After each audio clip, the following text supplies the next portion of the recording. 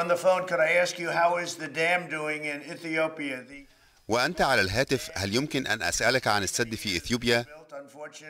السد الأضخم منذ سنوات بعيدة يجري بناؤه وللأسف يوقف تدفق المياه في النيل وهو ما يسبب مشكلة لمصر إثيوبيا أقامت سدا وأنتم تعلمون كل شيء عنه لكنني أبحث مع السودان كيف يسير الأمر لأنكم أنتم فقط الطرف الثالث مع إثيوبيا ومصر في السد. هل سيخرجون باتفاق؟ لأنني وضعت لهم اتفاقا ولكن للأسف إثيوبيا خرجت من الاتفاق وما كان يجب عليهم ذلك كان خطأ كبيرا.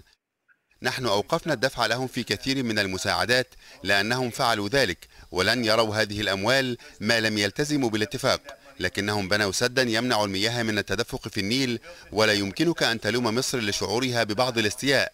فما موقفهم من ذلك؟ لأنني وضعت اتفاقا ثم خرجوا من الاتفاق. لا يمكنهم عمل ذلك. الاتفاق اكتمل وهناك موقف خطير جدا لأن مصر لن تكون قادرة على العيش بهذه الطريقة وسينتهي بهم الأمر بأن ينسفوا السد. قلتها وسأقولها علانية وبوضوح سينسفون ذلك السد وعليهم أن يفعلوا شيئا. لذا وأيا كان ما تفعله من أجل مجيئهم عليهم أن يفعلوا ذلك. أوقفنا كل الدفع وغيره إلى إثيوبيا. كنا جميعا جالسين لتوقيع اتفاق.